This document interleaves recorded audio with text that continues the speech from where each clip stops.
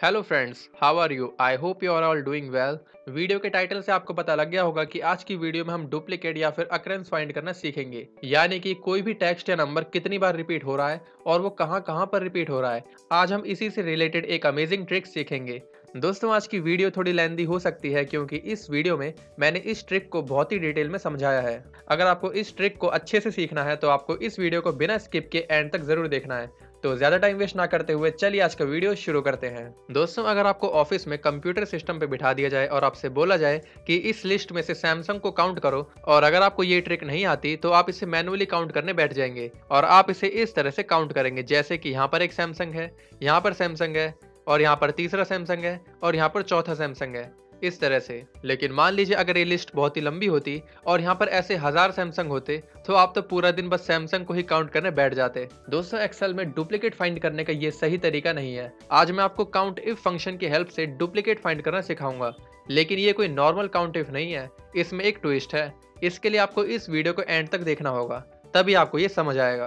दोस्तों normal counting function तो आपको आता ही होगा। इसके ऊपर मैं ऑलरेडी वीडियो बना चुका हूँ। लेकिन अगर आप भूल गए हैं तो मैं आपकी एक बार रिविजन करा देता हूँ। यहाँ पर टाइप कीजिए equals to count if bracket और यहाँ पर रेंज में आप उस रेंज को सिलेक्ट करेंगे जिसमें से आपको कोई भी टेक्स्ट या नंबर काउंट करना है। तो यहाँ पर मैं इस पूरी रेंज को इस तरह से सिलेक्ट करता हूँ कॉमा अब यहाँ पर क्राइटेरिया में आपको या तो डबल इन्वर्टेड कॉमा में वो टेक्स्ट या नंबर टाइप करना है, जिसे आप इस लिस्ट में से काउंट करना चाहते हैं, या फिर आपको सिंपली वो सेल सिलेक्ट करना है, जिसमें वो क्राइटेरिया वाला टेक्स्ट रखा हुआ है। अब यहाँ पर क्योंकि हमें सैमसंग को काउंट करना है तो मैं यहाँ पर इस सैमसंग वाले सेल को सिलेक्ट करता हूँ। और ब्रैकेट क्लोज और एंटर तो आप देख सकते हैं कि इस फ़ंक्शन ने हमें बता दिया कि इस पूरे सिलेक्टेड एरिया में जो सैमसंग है, वो चार बार आ रहा है और अभी हमने थोड़ी देर पहले इसे मैनुअली काउंट किया था। इसी तरह से अगर मैं इस फ़ंक्शन में इस सैमसंग वाले सेल को हटाकर क्राइटेरिया में इस नोकिया वाले सेल को सिलेक्ट करता हूँ तो आप देख सकते हैं कि इस फ़ंक्शन ने हमें बता दिया कि इस पूरी लिस्ट में जो नोकिया है, वो तीन बार रिपीट हो रहा है।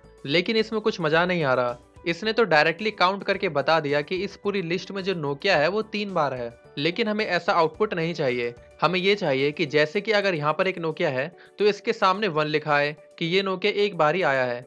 ऐसे अगर यहाँ पर नोकिया है तो इसके सामने दो लिखा है। मतलब कि ये नोकिया अब तक दो बार आया है। इसी तरह से अगर ये वाला नोकिया है तो इसके सामने तीन लिखा है। मतलब कि ये नोकिया तीसरी बार आया है। इस तरह से हम डुप्लीकेट या फिर इनके अक्रेंस काउंट करना चाहते हैं। तो चलिए हम देखते हैं कि हम इसे कैसे कर सकते हैं। मैं इसको डिलीट करके फिर से यहाँ पर टाइप करता हूँ equals to count if bracket अब यहाँ पर रेंज में आप देखिए कि मैं किस तरह से इस रेंज को सिलेक्ट करता हूँ।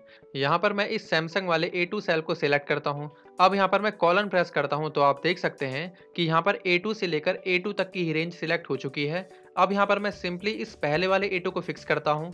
आप यहाँ पर देख सकते हैं कि मैंने इस दूसरे वाले A2 को फिक्स नहीं किया। इसके पीछे एक रीजन है जो आपको अभी थोड़ी देर में पता लगेगा। अब मैं यहाँ पर कॉमा लगाता हूँ और यहाँ पर क्राइटेरिया में मैं इसी सैमसंग वाले सेल को सिलेक्ट करता हूँ और इसको मैं यहाँ पर फिक्स कर देता हूँ, जिससे की अगर मैं इसे नीचे तक ड्रैक करूँ तो ये हमें सिर्फ़ सैमसंग का काउंट बताए और किसी का काउंट ना बताए। अब मैं ब्रैकेट क्लोज करके एंटर करता हूँ तो आप देख सकते हैं कि इसने हमें बता दिया कि A2 से लेकर A2 तक की ही रेंज में जो सैमसंग है, वो अभी तक सिर्फ़ एक बार ही आया है। इसी तरह से अगर मैं इस फॉर्मूला को इस नीचे वाले सेल में कॉपी करता हूँ और आपको इस फॉर्मूला को दिखाता हूँ तो आप देख सकते हैं कि यहाँ पर ये जो रेंज है, अब ये A2 से लेकर A3 तक की रेंज हो चुकी है।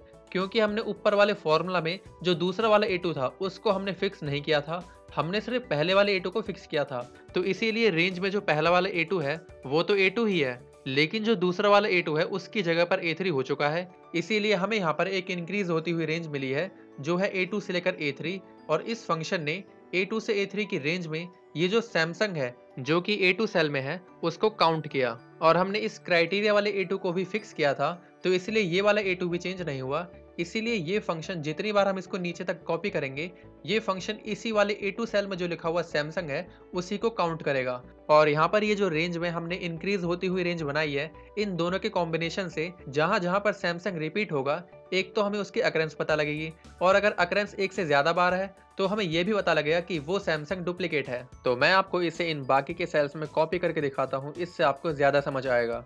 अब इस तरह का आउटपुट देखकर आपको इसमें कुछ प्रॉब्लम लग रही होगी। जी, आपने बिल्कुल सही सोचा। अगर आप इस वाले फ़ंक्शन को चेक करें तो यहाँ पर आप देखेंगे कि इसने हमें बता दिया कि A2 से लेकर A10 तक की रेंज में ये जो सैमसंग है, ये दो बार अब तक रिपीट हुआ है।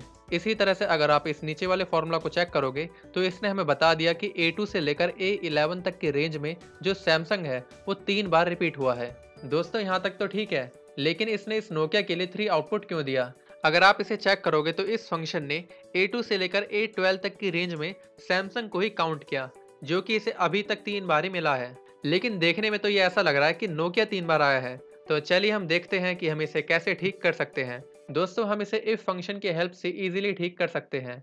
तो यहाँ पर मैं काउंट इफ़ फ़ंक्शन से पहले इफ़ फ़ंक्शन लगाता हूँ और यहाँ पर मैं एक कंडीशन देता हूँ कि अगर ये ए टू सेल सैमसंग के बराबर हो, मैं सैमसंग को यहाँ पर डबल कोर्ट्स में लिख रहा हूँ इस तरह से। तब हमें क्या करना है? तब हमें वैल्यू इफ़ ट्रू में यही वाला काउंट इफ़ फ़ंक्शन लगाना है। और अगर हमारी ये कंडीशन ट्रू नहीं होती मतलब कि अगर ए टू सेल में सैमसंग नहीं होता, तब हमें क्या करना है? तब हमें काउंट इफ़ फ़ंक्शन के बाद कॉमा लगाना है। और इफ़ फ़ंक्शन के वैल्यू इफ़ फॉल्स में हमें दो बार डबल इन्वर्टेड कॉमा लगाना है, जिसका मतलब होता है ब्लैंक आउटपुट अब मैं यहाँ पर ब्रैकेट क्लोज करता हूँ और एंटर तो यहाँ पर तो आपको काउंट इफ़ फ़ंक्शन वाला वन आउटपुट मिला। लेकिन अगर मैं इस फ़ंक्शन को इन बाकी के सेल्स के लिए भी कॉपी करता हूँ तो आप देख सकते हैं कि जहाँ जहाँ पर इसे सैमसंग नहीं मिला, वहाँ वहाँ पर इसने हमें ब्लैंक आउटपुट दिया। और जहाँ जहाँ पर इसे सैमसंग मिला, सिर्फ़ उसी के सामने इसने काउंट इफ़ फ़ंक्शन लगाया। आई होप आपको इफ़ फ़ंक्शन और काउंट इफ़ फ़ंक्शन की हेल्प से किसी भी टेक्स्ट या नंबर का डुप्लीकेट या फिर अकरेंस फाइंड करना आया होगा। दोस्तों, इसे देखकर आपको साफ़ साफ़ पता लग रहा है कि सैमसंग दूसरी बार कब आया है, तीसरी बार कब आया है और चौथी बार कब आया है। दोस्तों, ये तो था किसी एक स्पेसिफिक टेक्स्ट का डुप्लीकेट या अकरेंस फाइंड करना। लेकिन अगर आपको इन सभी का डुप्लीकेट फाइंड करना है तो उसका एक दूसरा अप्रोच है। तो उसके लिए मैं यहाँ पर टाइप करता हूँ equals to count if bracket अब यहाँ पर रेंज में मैं A2 से लेकर A2 तक की ही रेंज को सिलेक्ट करता हूँ और इस पहले वाले A2 को फिक्स कर देता हूँ कॉमा अब यहाँ पर क्राइटेरिया में मैं इसी सैमसंग को सिलेक्ट करता हूँ, लेकिन अब की बार मैं इसे फिक्स नहीं करता। अब मैं ब्रैकेट क्लोज करता हूँ और एंटर तो आप देख सकते हैं कि इसने अभी तो हमें वन आउटपुट दिया। अब मैं इस फॉर्मूला को इन बाकी के नेम्स के लिए भी कॉपी करता हूँ। तो आप देख सकते हैं कि जहाँ जहाँ पर कोई भी नेम पहली बार आया है, वहाँ पर तो इसने हमें वन आउटपुट दिया। लेकिन जहाँ जहाँ पर कोई नेम रिपीट हुआ है, उसके सामने इसने एक से ज़्यादा नंबर दिया। अब मैं आपको दिखाता हूँ कि इसने कैसे काम किया होगा। यहाँ पर अगर आप नोकिया के लिए चेक करें तो आप देखेंगे कि रेंज में तो A2 से लेकर A3 तक की रेंज सिलेक्ट है, और इस रेंज में इसने नोकिया को काउंट किया। आप देख सकते हैं कि जैसे ही हमने इस फ़ंक्शन को नीचे की तरफ़ कॉपी किया तो यहाँ पर क्राइटेरिया में भी A2 की जगह पर A3 हो गया, जो कि नोकिया है। और इस फ़ंक्शन ने A2 से लेकर A3 की रेंज में नोकिया को काउंट किया। इसी तरह से अगर आप ओप्पो के लिए चेक करें तो आप देखेंगे कि यहाँ पर A2 से लेकर A4 तक की रेंज सिलेक्ट है। और इस रेंज में इसने A4 में जो ओप्पो है, उसको काउंट किया, जो कि इस रेंज में अभी तक एक बार ही आया है। अब इस वाले काउंट इफ़ में और पहले वाले काउंट इफ़ में फ़र्क ये है कि पहले वाले में तो हमने क्राइटेरिया में जो सैमसंग वाला सेल था, उसको हमने फिक्स कर दिया था। मतलब कि यह हर बार सिर्फ़ सैमसंग को ही काउंट करेगा। लेकिन अब की बार हमने क्राइटेरिया वाले सेल को फिक्स नहीं किया। मतलब कि हम जैसे जैसे इस फ़ंक्शन को नीचे की तरफ़ कॉपी करते जाएँगे, ये फ़ंक्शन हमें हर एक नेम का काउंट करके देगा। अब अगर आप इस वाले नोकिया के सामने देखें तो इसने हमें टू आउटपुट दिया, क्योंकि इस फ़ंक्शन ने A2 से लेकर A9 तक की रेंज में इसी वाले नोकिया को काउंट किया। आप क्राइटेरिया में देख सकते हैं कि A9 सेल ही सिलेक्टेड है। इसी तरह से आप इस सैमसंग के लिए भी चेक कर सकते हैं। इसने A2 से लेकर A10 तक की रेंज में सैमसंग को काउंट किया, जो कि अभी तक दो बार ही आया है। इसी तरह से इसने इस वाले सैमसंग को काउंट किया, जो कि तीन बार आया है। और अगर आप इस वाले नोकिया को देखेंगे तो ये नोकिया अब की बार तीन बार आया है। इसी तरह से आप इन सभी का देख सकते हैं। अब इस वाले मेथड का बेनिफिट ये है कि इसमें आपको हर एक नेम के सामने वो कितनी बार रिपीट हो रहा है, ये पता लग रहा है। तो दोस्तों, इस तरह से हमने काउंट इफ़ फ़ंक्शन की हेल्प से डुप्लीकेट एंड अकरेंस फाइंड करना सीखा। अगर आपके सामने ऐसी कोई सिचुएशन आती है जिसमें आपको इनमें से किसी भी मेथड का यूज़ करना पड़े तो आप इन्हें ज़रूर यूज़ कीजिएगा। अगर आपका इस वीडियो से रिलेटेड कोई भी डाउट है तो उसे कमेंट सेक्शन में मेंशन ज़रूर कीजिएगा। मैं आपके डाउट को ज़रूर क्लियर करूँगा। दोस्तों, अगर आपको ये वीडियो पसंद आई है तो please like share and subscribe ज़रूर कीजिएगा। और बेल नोटिफिकेशन को ऑन ज़रूर कीजिएगा, जिससे कि आपको हमारी लेटेस्ट वीडियोस की नोटिफिकेशन सबसे पहले मिल सके। So guys that's all for today see you in the next video thanks for watching